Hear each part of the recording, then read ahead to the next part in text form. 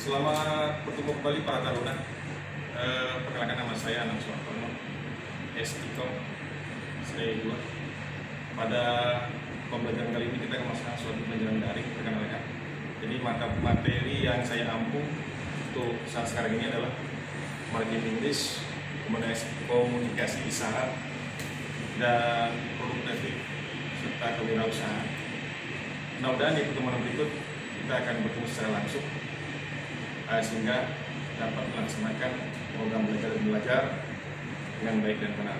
Terima kasih atas perhatian sampai ketemu kembali di di hari berikutnya. Salam.